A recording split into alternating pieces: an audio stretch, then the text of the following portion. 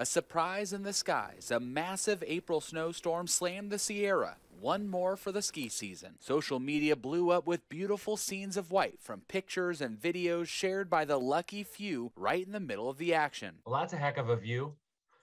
Yeah, it's not bad from the hippie house here. I'm at lake level at 6257. There's about four to six inches on the deck here. It's heavy, but at upper elevations, it's much lighter. And they've seen anywhere between six to 14 inches around the region. A welcome sight from just 20 days ago when the Sierra snowpack showed only 38% of average. While getting pelted with snow, Sierra snow expert Kevin Coop Cooper told us how great this is for the area and the water tables, and more is on the way. We're supposed to see another cold front pass here in the next several hours, which is really going to bring on another another significant amount of snow.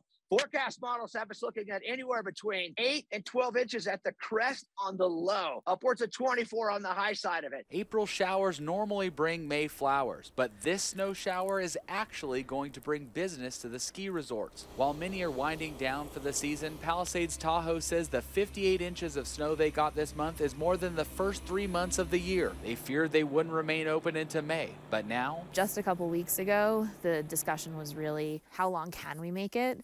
And now the discussion is kind of, oh my gosh, how long can we make it?